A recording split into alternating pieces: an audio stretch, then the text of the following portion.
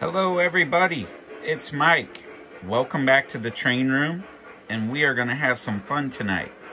We are going to talk about the history of the Pennsylvania Railroad Broadway Limited.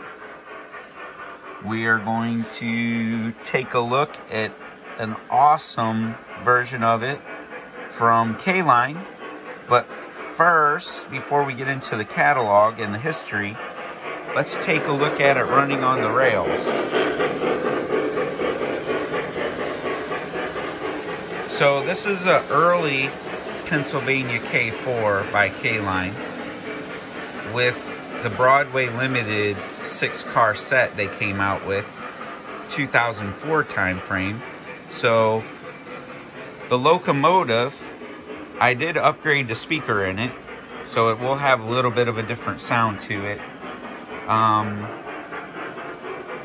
but this locomotive is equipped with TMCC and cruise. It was also offered without cruise. I love the K-Line Chuff.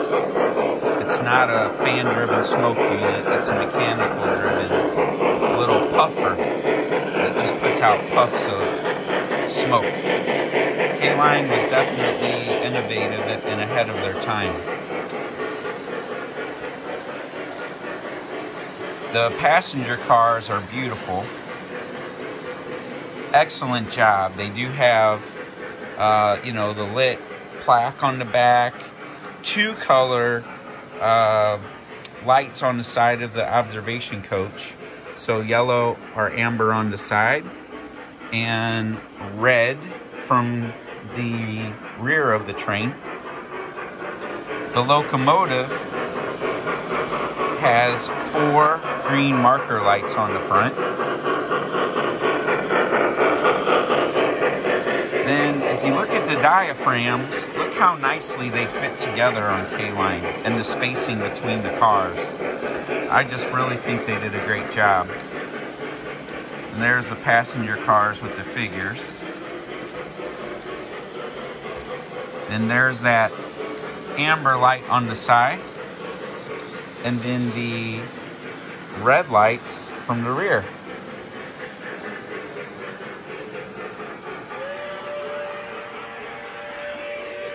my next video, and I, am making a K4 video at the request of my friend John April. Uh, the Trailblazer behind this K4 will be my next video. That's an MTH Premier. Alright, let's bring it down to speed a little bit so we can take a look at the detail on this locomotive. Now remember, this is a scale locomotive from the early 2000s. Um, K-Line, you know, I, I, can understand why Lionel wanted to put them out of business. Because at the time, what K-Line was putting out, production-wise and model-wise, in comparison to the Lionel of the era, um, K-Line was just crushing everybody. I mean, in my opinion, they were making some of the most beautiful models. So I think the act the color is pretty accurate on the cars. You have a baggage car, number 9229. You have the RPO car, number 6511.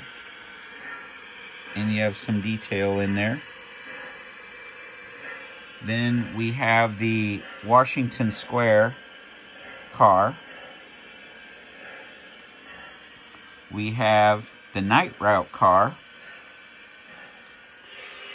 Then we have the diner car with folks seated at the table and some servers.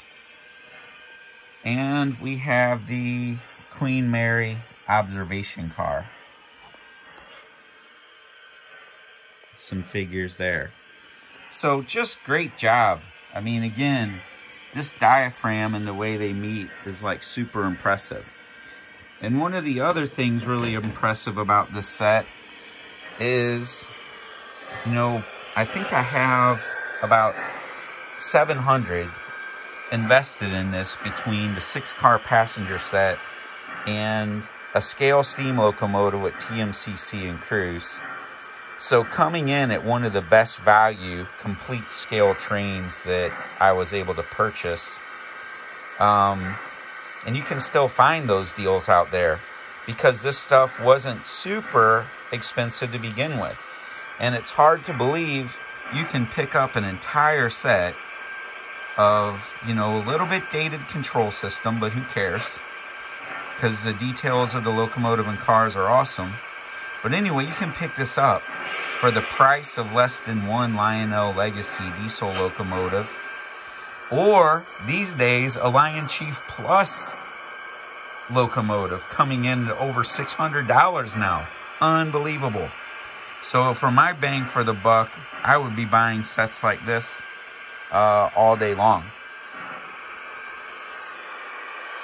So you have your cab figures, you have uh, it's cab number 5358, which goes along with the model number, which we're going to shift to here real quick. All right, so let's take a look at the catalog. So what we had there um,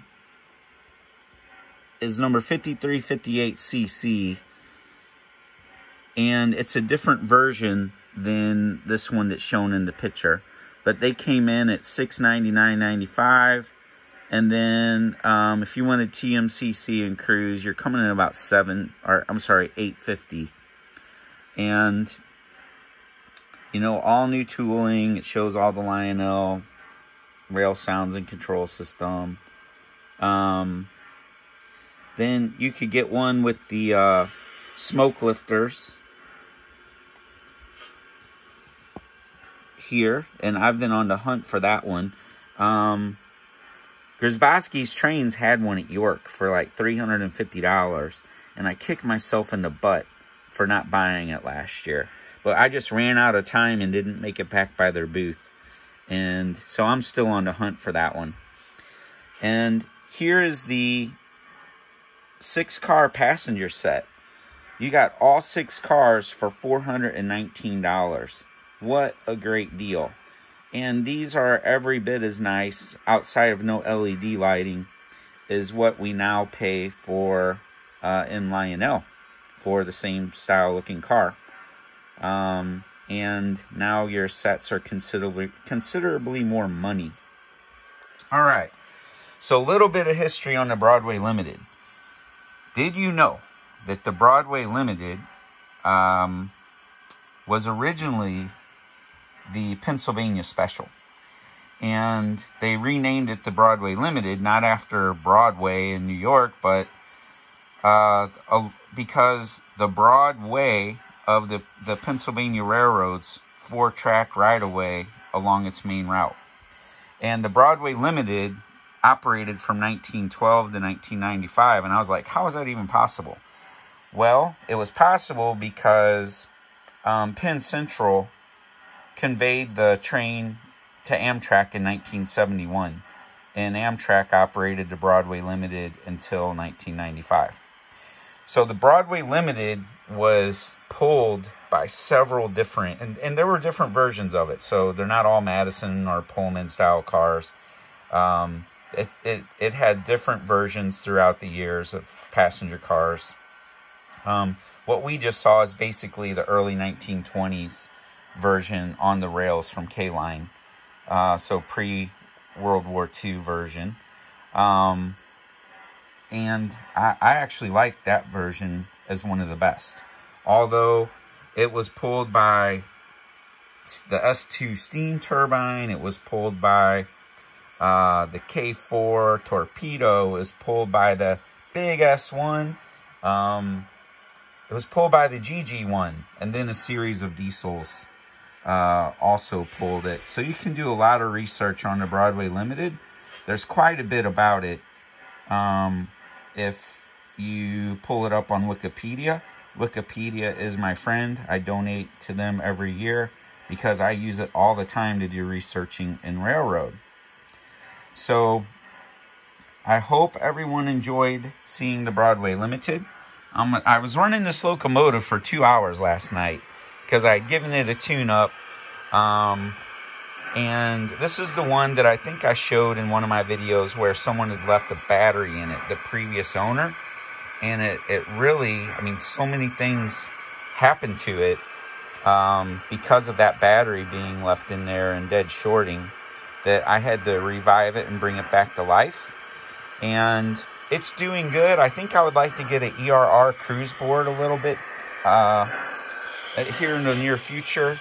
And when I say I would like that a little bit more than what's in there now is because it doesn't always just have a smooth speed. It'll be a little jerky from time to time. And it probably won't do it now, make a, a flyer out of me. But let's see if we can get it to do it and I'll show you what I'm talking about.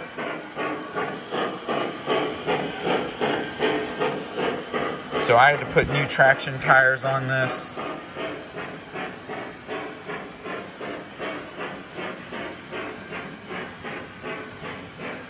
There it is a little bit.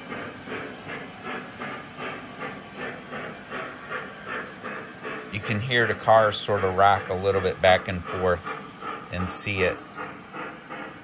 So not that big a deal. I can run it with the cruise turned off and it runs smoothly other than when I'm going up and down all these inclines. Let's go around the corner here.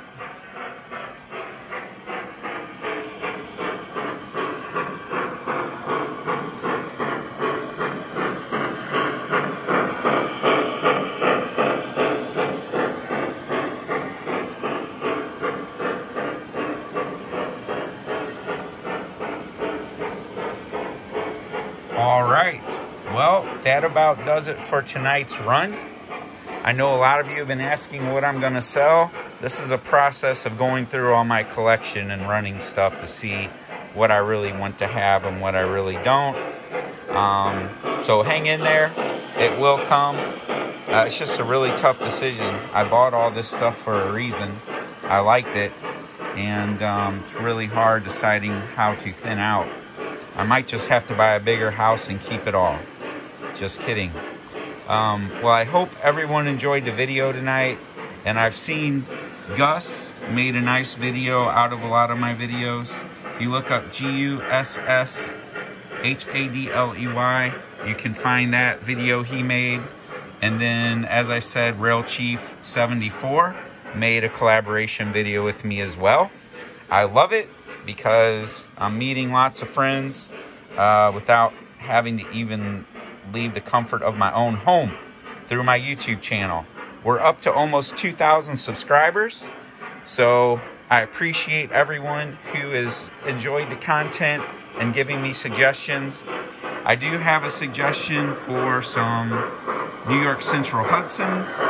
I still need to show my uh, Santa Fe Warhorse Hudson running from the video the other night. I've got about three hours of runtime on that guy now, and it is really broken in and running well. So, with that being said, uh, I look forward to making more videos and sharing them with you, and thank you for giving me feedback on my content. Have a great night.